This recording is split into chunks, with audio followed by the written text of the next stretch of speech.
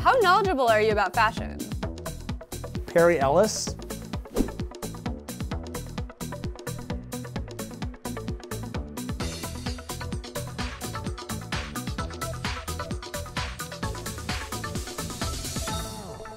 Prabal Gurung.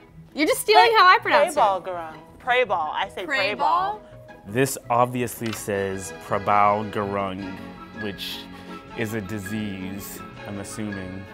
Prabal Grung? The correct pronunciation is Prabal Gurung. Prabal Gurung? Prubble. Prubble. There should be a U there. That guy sounds like Preble. Brunello Gusanelli. Uh, Brunello Cucinelli. I, I agree. Brunello like the wine? The correct pronunciation is Brunello Cucinelli. So we were. Yeah! I, I agreed with you. Cucinelli. if you if you do If the you do it, hand, you get it right. Brunello Cucinelli. that's offensive. This looks like a vegetable based like spread. What? Vitamins. Vitamins. Vitamins. Vitamins. I took three years of high school French.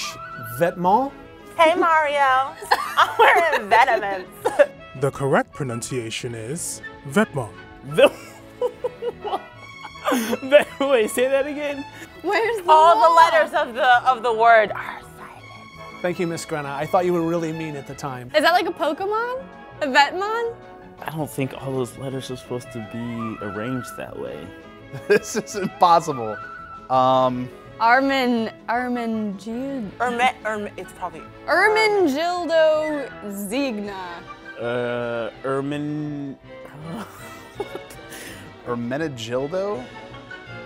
The correct pronunciation is Ermenegildo Zegna.